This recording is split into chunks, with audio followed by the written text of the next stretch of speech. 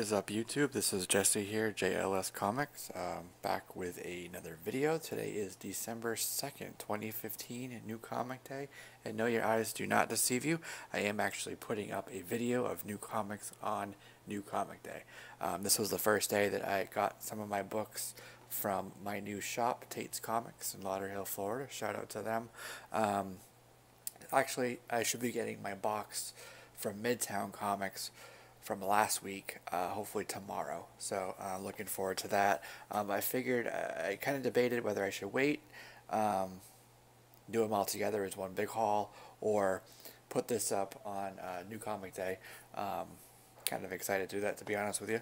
Um, and then maybe put those up, uh, the, the past books, and maybe do a little bit of review once I've read these and you know had some insight in, into the stories and the interiors a bit more than I do now.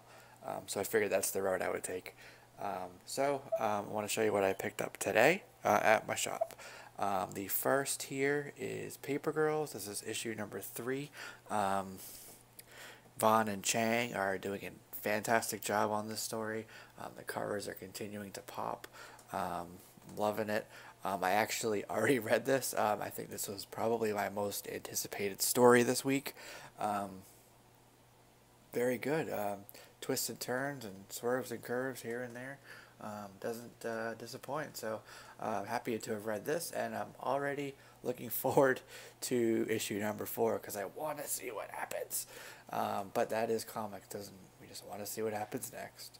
Um, all right, so there's my image book. My actually my only image book for this week. Um, I have a DC book uh, a couple DC books. Two of them um, I'm waiting for in the mail. Uh, so I have one here, um, and then actually the rest are Marvel books. So get into these. Uh, Extraordinary X-Men. This is issue number three. Jeff Lemire, Humberto Ramos, and is it Edgar Delgado? Uh, awesome cover. Look at that. Um, some magic here. Storm.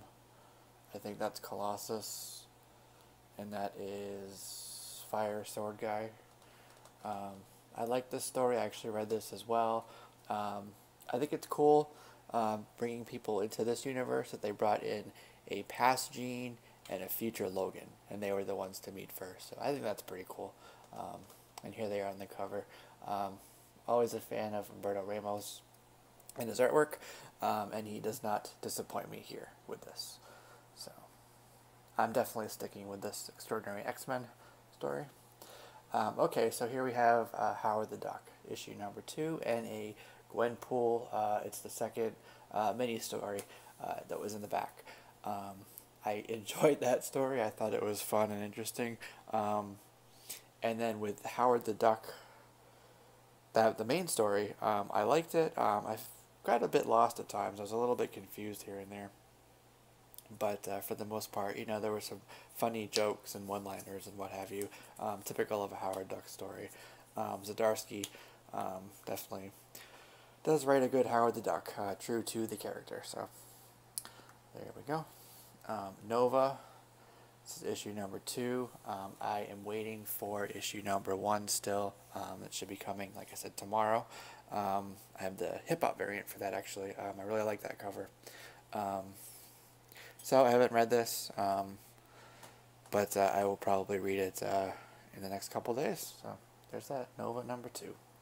Um, of course, everybody got this. Uh, part three of six of Vader Down. Um, I'm waiting for part two. I read part one. Um, really cool setup and uh, story so far on that. Um, excellent Mark Brooks cover here. Um, really nails uh, the character image there.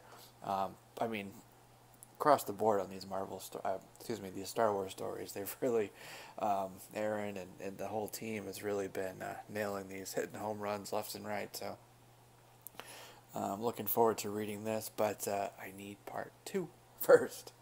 Um, okay, so we have uh, from Mark Waid and which Kubert is that? Is it Adam Kubert? It is indeed Adam Kubert and uh, Alex Ross cover. All new, all different. Avengers number two. Cool cover. Got all the Avengers on there, and uh, it does not wrap around. Kind of looks like it should be a wraparound cover, but it's not. Um, haven't read that yet, um, but story is interesting so far. Uh, Alex Maleev, uh, hip hop variant cover for uh, Charles Soule's Daredevil number one. Um, very cool cover there. It is the only one I got um, for Daredevil. Um, I figured why not, uh, like I said last time, get some covers that are going to contribute, if I'm only planning on buying one, uh, a cover that will contribute to some piece of my collection, and I am uh, have a good chunk of these uh, hip-hop variant covers, so um, why not add this one as well. Um, I'm expecting it to be a good story. Um, the preview was really good. Um, back in that uh, free comic book day uh, story. Um, was that where we saw that? I believe so. Um, anyways, uh, cool cover. I'm looking forward to a good story here with this. So, here's my uh, only DC that I have today. Uh, I'm waiting for the, the Harley and the Green Lantern um, polybag, black bag books, um, and some other stuff as well. But um, for today, uh, the only DC book that I got was this uh, here, uh, issue number one of two, Robin War.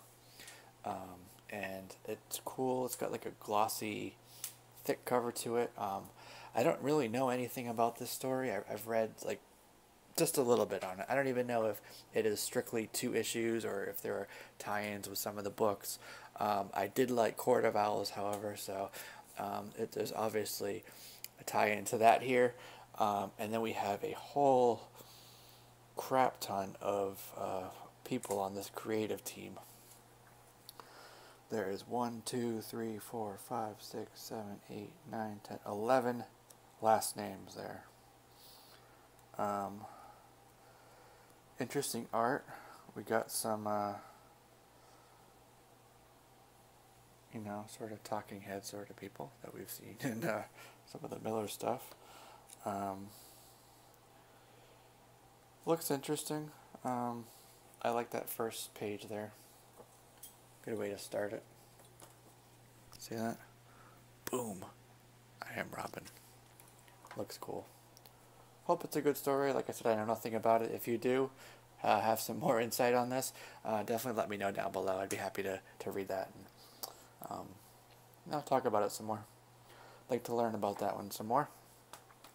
Um, and then last but not least, uh, I did get the totally awesome Hulk Marvel 92 variant. Uh, just a really cool cover, I think. Uh, there we go. Just wish it didn't have so much glare on it. There we go. That's by Dale. Oh, I can't. This kills me trying to say this last name. Dale Dale Keown. Um, he did work with Peter David actually back in the 90s on Hulk, so perfect choice to do this. And um, I know him mostly from his work on Pitt. Um, but between those two characters, definitely a perfect fit for a um, a variant cover, right? Um, just think that is a really awesome cover, and um, he does not have that mohawk, right?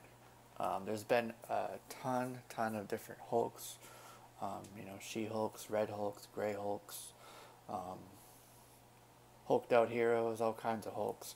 Um, but this is cool. It's Amadeus Cho as Hulk, uh, and I'm really curious how that happened, A, and B, where the heck is Dr. Bruce Banner? So those are two questions I'm looking to get answered in this book here. Um, but that's all I got for you today. Um, you know, let me know what you think down below in terms of these stories, and especially on this one. I'm, I'm really curious what you guys thought of this, um, or if you know more about the story and what's involved with it. Um, you know, like, subscribe, comment, and all that stuff that we always say all the time. Um, I'll probably have another video up in the next couple days on my prior haul, as well as, um, excuse yeah, my prior haul, and then, you know, whatever comes in the mail, so stay tuned for that, um, and I will see you guys in the near future. Peace.